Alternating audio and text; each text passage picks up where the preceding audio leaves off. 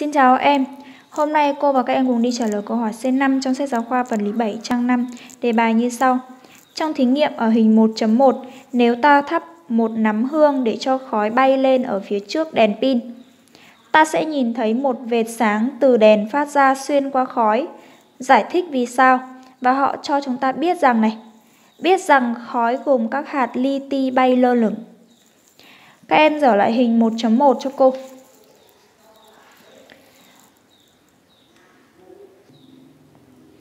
Khi chúng ta bật đèn pin đèn sáng và chúng ta đốt một nắm hương đặt trước đèn pin này và người ta hỏi là giải thích uh, khi đấy chúng mắt chúng ta sẽ nhìn thấy một vệt sáng và giải thích tại sao. Như chúng ta đã biết thì ta nhận biết được ánh sáng khi có ánh sáng truyền vào mắt ta, đúng không? Và chúng ta sẽ chỉ nhìn thấy một vật khi nào? Chỉ nhìn thấy một vật khi có ánh sáng từ vật truyền vào mắt ta, đúng không? Khói thì họ đã cho chúng ta biết là gồm nhiều hạt li ti, đúng không? Các hạt khói được đèn pin chiếu sáng thành một vật sáng. Bởi vì chúng ta thắp cái nắm hương này trước đèn pin mà nên khi đèn pin bật thì sẽ à, khói này sẽ được đèn pin chiếu sáng được chưa và các vật sáng nhỏ li ti xếp thành à, tạo thành một vệt sáng vậy vệt sáng này chúng ta có thể nhìn thấy được Vậy chúng ta cùng đi trả lời câu hỏi C5.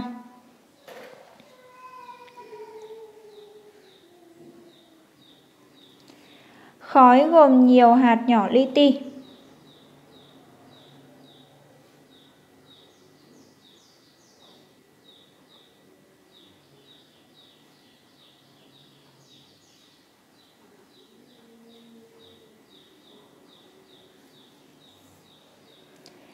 Các hạt khói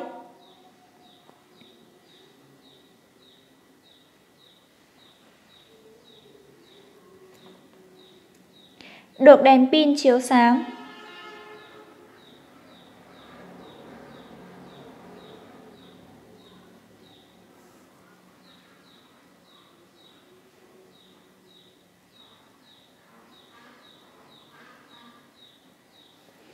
thành các vật sáng.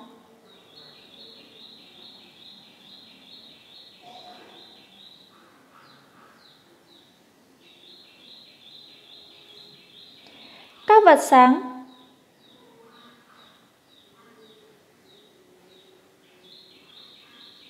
Nhỏ li ti xếp thành các vật sáng này, nhỏ li ti. Và xếp gần nhau, tạo thành một vệt sáng.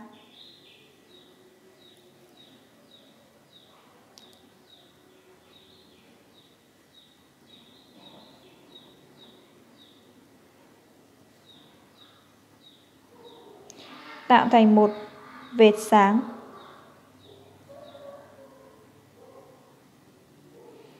Và vệt sáng này ta nhìn thấy được.